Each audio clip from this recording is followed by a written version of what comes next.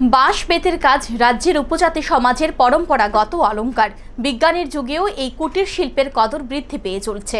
Zoom চাষের ফাঁকে আদিবাসীরা বাঁশ থেকে বেত তুলে সেই বেত দিয়েই রকমারি সামগ্রী তৈরি করছে। বাজারে উৎসব সামগ্রীগুলি বিক্রি করেন এবং নিজেরাও ব্যবহার করেন।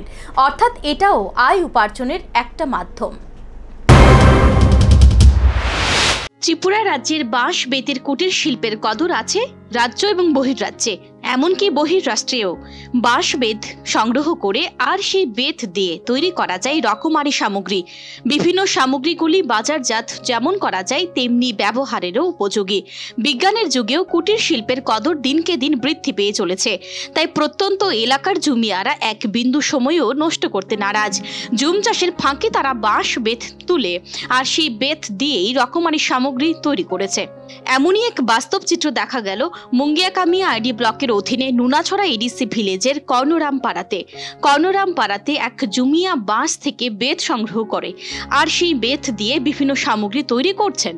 কথা প্রসঙ্গে তিনি জানান, বাজারে ওইসব সামগ্রীগুলি বিক্রি করেন এবং নিজেরাও ব্যবহার করেন।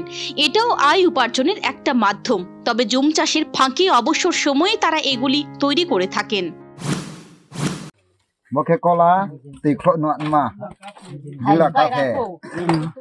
Boke, oh, jemai mo dacha ma. Hantore phoda mayu. এটি কি বিক্রি করেন না এমনি নিজের লিগে Pai nei tongke pai pho, pai mayu. Nije pho, la ti me ha are hana boke. যদি বিক্রি করেন কত করে বিক্রি করেন Ponsai ro mari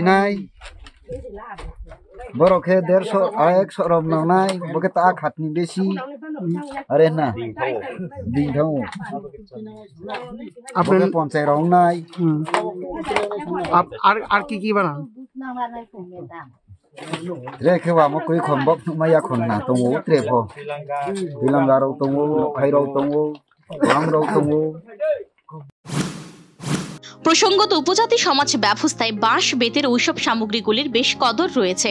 কারণ অতি প্রাচীনকাল থেকে উপজাতি সমাজ ব্যবস্থায় পরিবার সংকুলানের জন্য তাদের এই পরম্পরাগত বাঁশ, বেতের সামগ্রীগুলি তৈরি এবং তার ব্যবহার করা হচ্ছে আজকের দিন পর্যন্ত।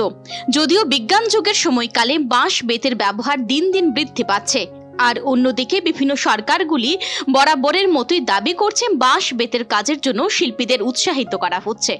Bureau report, news Vanguard.